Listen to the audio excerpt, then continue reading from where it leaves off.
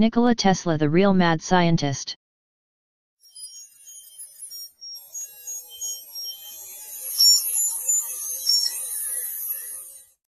Nikola Tesla was a Serbian-American inventor, electrical engineer, mechanical engineer, physicist, and futurist best known for his contributions to the design of the modern alternating current, AC, electricity supply system.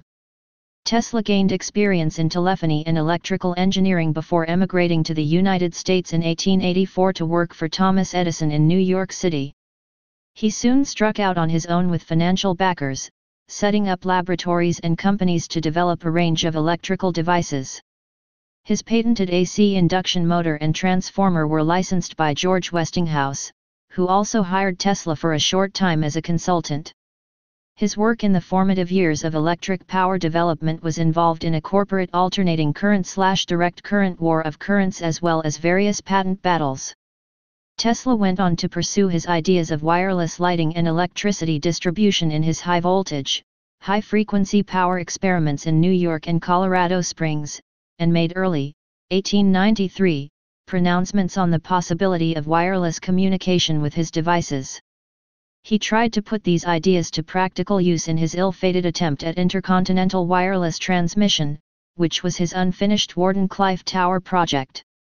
In his lab he also conducted a range of experiments with mechanical oscillators slash generators, electrical discharge tubes, and early X-ray imaging. He also built a wireless controlled boat, one of the first ever exhibited.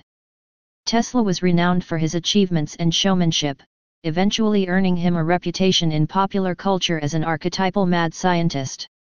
His patents earned him a considerable amount of money, much of which was used to finance his own projects with varying degrees of success. He lived most of his life in a series of New York hotels, through his retirement. He died on January 7, 1943. His work fell into relative obscurity after his death, but in 1960 the General Conference on Weights and Measures named the SI unit of magnetic flux density the Tesla in his honor. There has been a resurgence in interest in Tesla in popular culture since the 1990s.